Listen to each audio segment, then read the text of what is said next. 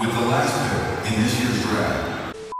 So I was watching one of my favorite YouTube channels after further review when the topic came up about Taysom Hill possibly being a Hall of Famer. Now I pride myself on being unbiased in my sports takes. It doesn't matter if it's my favorite team, favorite player, favorite artist, I try to have an unbiased standpoint when viewing them. So in this regard, I'm going to give my fair and unbiased opinion on if Taysom Hill is a Hall of Famer. There were some key points that jumped out to me in the video that I was watching. And I want to make sure I hit all of those key points in this very video. I'm going to try to give the best context to the things that I'm saying as possible. And I think that it's important that I restate that I am unbiased. And one thing that I realize is that people are very biased to the players that they support. Case in example, Derek Carr. Boy, have I gotten so many messages about the video that I made talking about why Saints fans don't like Derek Carr. Nothing in the video was a lie. It was just points on why they dislike Derek Carr. But I digress. Again, people are biased to what they like. And if it's one person that I know the Who Dat Nation does like, it is Taysom Hill. So let's get into the talking points of After Further Reviews video. One of the main points that Matt threw out in his video is that Devin Hester's case to get into the Hall of Fame should be leveraged to help Taysom Hill. And I do not agree with that. Yes, we are talking about two players that played multiple positions. However, Devin Hester was the GOAT at the second position he played, whereas Taysom Hill is good at a lot of positions. Let me say that to you again. Devin Hester is the GOAT at a singular position, even though he played multiple positions. Yes, it wasn't the position he was drafted to do, but special teams is also considered a part of the game of football. Punt return and kick return is a position that needs to be filled on a roster. And if you are the greatest of all time at any position, you deserve to go into the Hall of Fame. And again, I'm not saying that Taysom is not a great player. He is a phenomenal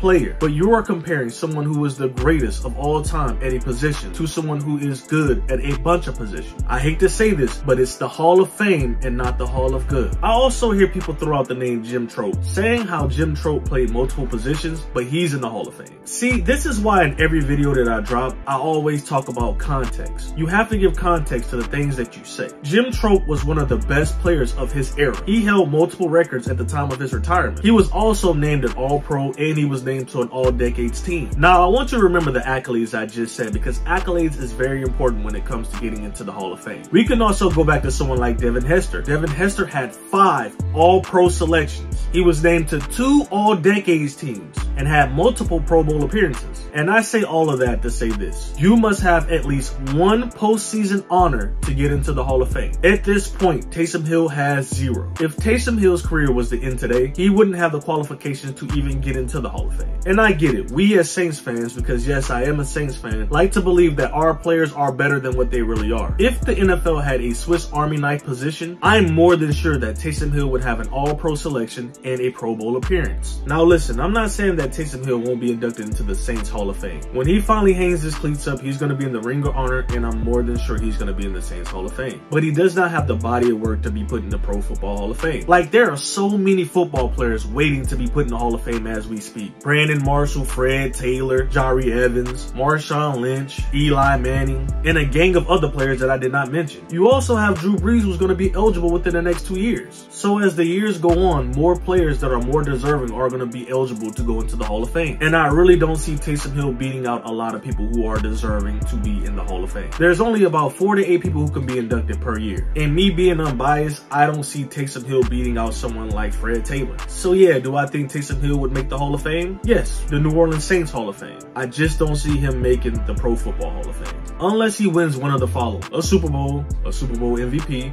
MVP, Offensive Player of the Year, All-Pro selection, Pro Bowl selection. And the way that this current New Orleans Saints team looks, I doubt it. However, what do I know? I'm not on the voting committee.